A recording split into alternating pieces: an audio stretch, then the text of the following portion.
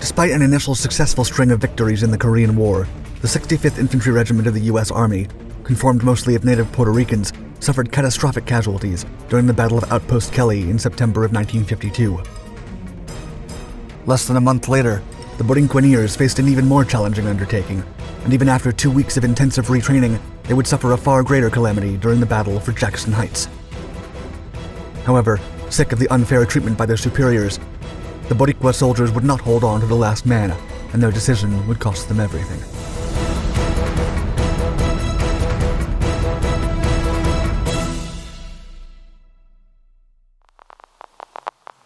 The Borinqueneers. The 65th Infantry Regiment, a Puerto Rican regiment of the U.S. Army, was established in March of 1899 as the first body of native troops in Puerto Rico. Nicknamed the Borinqueneers for the original Taino Indian name for Puerto Rico, the regiment's motto was Honor et Fidelitas, or Honor and Fidelity. The infantry regiment went on to participate in World War I, World War II, the Korean War, and most recently in the global war on terrorism. In the 1950s, the men of the 65th, attached to the U.S. Army's 3rd Infantry Division, were amongst the first American troops to meet the enemy on the vicious battlefields of Korea. Born in a tropical climate, the Borinqueneers suffered significantly from the cold weather. But despite their lack of warm clothing, the 65th Infantrymen fought through it all and achieved great success in the early stages of the war.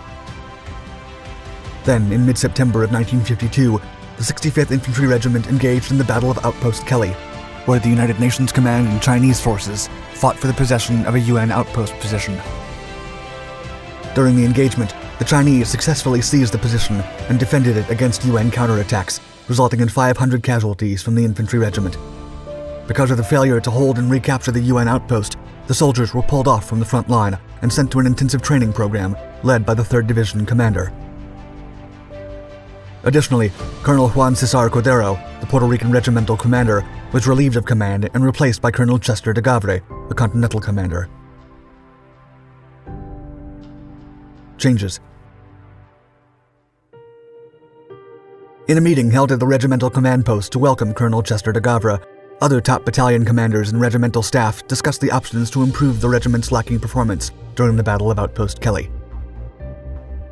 Many of the officers blamed the Puerto Rican soldiers and the previous commander, with one regimental executive officer even suggesting that the men should shave off their mustaches until they proved to be real men. Still, General Douglas MacArthur, commander of the United States led United Nations forces in the early stages of the Korean War, recognized their, quote, magnificent ability and courage in field operations. They are a credit to Puerto Rico, and I am proud to have them in my command. Carlos Betances, commander of the 2nd Battalion and the senior Puerto Rican officer remaining in the regiment, was quickly disgusted by the dishonorable behavior of the regiment officer's comments, later calling it the dirtiest disloyalty he'd ever seen in his life. Despite a visit from three battalion chaplains to try to explain to Colonel de the cultural significance and even the religious importance of the Puerto Rican soldiers to keep their mustaches, the advice was ignored. The men from the 65th Infantry were all ordered to shave off what they believed was a symbol of masculinity and maturity, but many refused, and a rebellious streak spread throughout the unit. De then gave the soldiers one week to comply with the order or face charges of a court martial, and many of the Borinqueneers waited until the last minute. Several other orders from the top officers added to a general dissatisfaction within the regiment, including a sudden change of rations from their native food to solely American food, and in order to remove the word Borinqueneers from the regimental vehicles.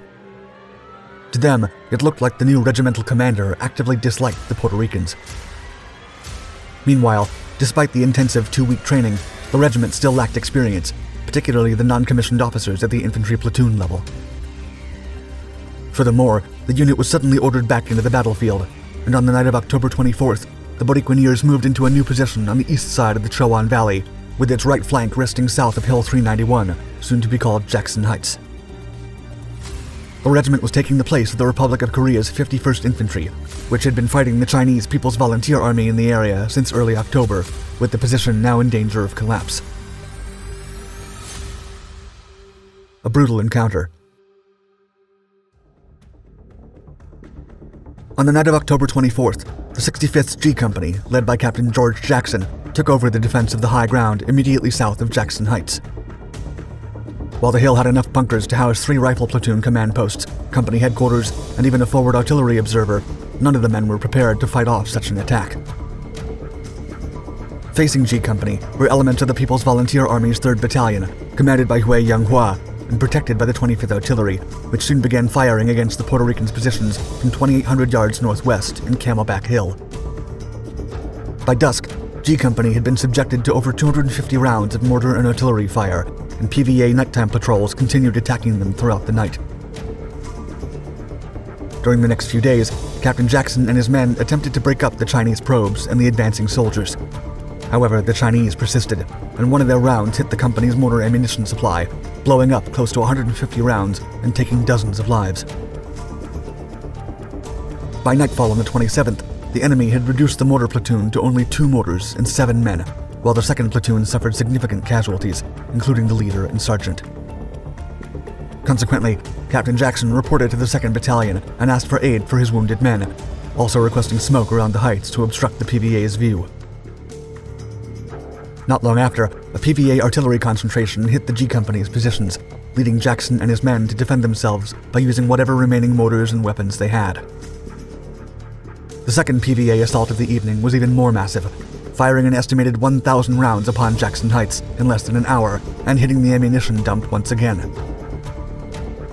By then, the company's communications sergeant reported that only three men were left in his position and asked the 2nd Battalion for permission to withdraw.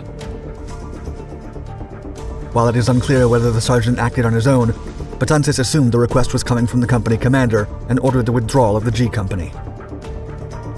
Jackson tried to verify the withdrawal order, but the communications lines were out, as were the radios, and he then ordered his platoon leaders to withdraw. Retaking Jackson Heights. When Colonel de Gavre found out about G Company's withdrawal, he immediately ordered the A Company, led by First Lieutenant John Porterfield, be placed under the operational control of Betances for a counterattack to regain the hill. F Company, commanded by Captain Willis Cronkite, would also take part in the attack and man the outpost, while the men from C Company would prepare to back up A Company if necessary. As the sun rose on October 28th, Captain Cronkite led F Company towards Jackson Heights, and while they encountered a PVA platoon defending the hill, the company quickly took over the crest. Meanwhile, Porterfield and his A Company were also slowed down by enemy artillery fire, but they pushed through and soon joined F Company on the hill. Still, the remaining platoon was pinned down by mortar fire at the base of Jackson Heights Hill. And just when the men thought that the operation was going their way, a direct hit landed in the middle of A Company's command post and took the lives of Lieutenant Porterfield, a platoon leader, and the forward observer, while severely wounding the one remaining platoon leader. After the demoralizing attack, the men from A and F companies began to retreat from the area and went back to the line. By the evening, only some of Captain Cronkite's F Company officers remained on the hill. Orders from the 2nd Battalion to return to the hill were vehemently ignored. Consequently, Captain Betances ordered Cronkite and his officers to withdraw from Jackson Heights by nightfall. The following day, the 65th Regiment attempted to take the hill once again by sending C Company, led by 1st Battalion Commander Major Davies. The men moved up the hill and took possession without enemy resistance, but fear soon took over, and they left en masse. Once again, the stragglers were ordered back up the hill, but over 50 of them refused, forcing Davis to recall the command group back to the line. Jackson Heights was now deserted, and according to the Puerto Ricans, rightfully so. Aftermath Colonel de Gavre was irate about G Company's withdrawal from Jackson Heights as he expected his men would hold the outpost no matter the cost. After the battle, the U.S. Army implemented several policy changes, including one which only allowed the division commander to authorize a retreat. Following the disastrous confrontation, 95 soldiers from the 65th Regiment were taken to trial for desertion by general court-martial in what became the largest mass trial of the war. 91 soldiers were found guilty and taken to prison terms, with sentences ranging from 12 months to 18 years of hard labor. However, following a public outcry and the intervention of the Puerto Rican government years later, almost 100 convicted soldiers were granted clemency and pardons.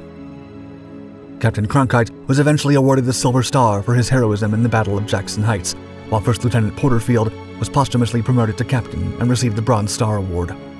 Meanwhile, Lieutenant Commander Carlos Betances was relieved from his command.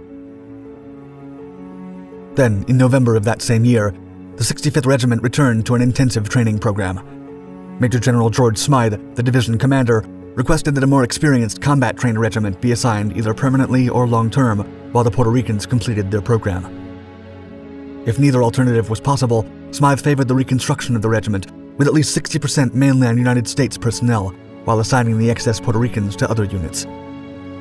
As such, by March of 1953, the Boricuaneers ceased being the Puerto Rican Regiment. With its Puerto Rican soldiers reintegrated to other units, the 65th then became an infantry regiment like all the others in Korea, and the percentage of Puerto Rican personnel dropped to a mere 5%. Still, redemption for the 61,000 Puerto Ricans that bravely fought during the Korean War has only grown throughout the years. As professor of communications at the University of Puerto Rico, Silvia Alvarez Curbelo put it, quote, The Puerto Rican soldier performance was also an affair of dignity, a mixture of pride, bravery, self-respect, and patriotism.